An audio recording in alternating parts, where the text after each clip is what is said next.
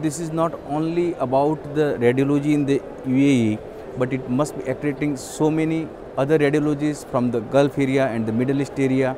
Not only that, but maybe from the Africa as well as the Asian uh, countries. And I'm sure there may be the, you know, uh, gradually the way it is growing, it will do wonders down the line.